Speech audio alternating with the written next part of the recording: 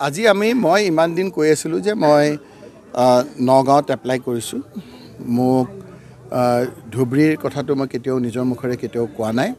কিন্তু মই হুকুমৰ গোলাম মই যদি এ আই চি চিয়ে মোক যদি তাত প্ৰাৰ্থিত্ব দিয়ে আজিৰ তাৰিখত মই কৈছোঁ যে আগতে মোৰ খুব মন নাছিল। এতিয়া মুখ্যমন্ত্ৰী ডাঙৰীয়াই যেনেকৈ আমাৰ মানুহৰ হতুৱাই মোৰ বিৰুদ্ধে আমাৰ বিৰুদ্ধে কৈছে তাৰ মানে মুখ্যমন্ত্ৰী ডাঙৰীয়াই ভয় খাইছে। বদৰুদ্দিন আজমল ডাঙৰীয়াই যে তেওঁৰ ভাই ককায়েকৰ অৱস্থা যে বেয়া সেই কথাটো গম পাইছে। গতিকে আজিৰ তাৰিখত মই ক'ব খুজিছোঁ যদি প্ৰাৰ্থিত্ব দিয়ে তেতিয়াহ'লে কিন্তু এইবাৰ বদৰুদ্দিন আজমল ডাঙৰীয়া যে হাৰিব সেই কথাটো আমাতকৈ বেছি মুখ্যমন্ত্ৰী ডাঙৰীয়াই গম পাইছে। সেইকাৰণে বিভিন্ন ধৰণৰে আপোনাৰ চেষ্টা কৰিছে। এই চেষ্টা বিফল হ'ব। মই ইমান দিন ভালকৈ এই কথাবিলাকত মনোযোগ দিয়া নাছিলোঁ। এতিয়াৰ পৰা অলপ মনোযোগ দিব লাগিব। গতিকে প্ৰত্যাহ্বান জনাইছোঁ। তেখেতক কিন্তু এইবাৰ যে হৰুৱাম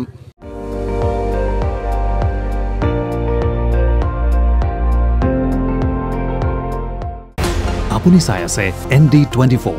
সৰ্বশ্ৰেষ্ঠ নহয় সৰ্বোত্তমৰ দৌৰা।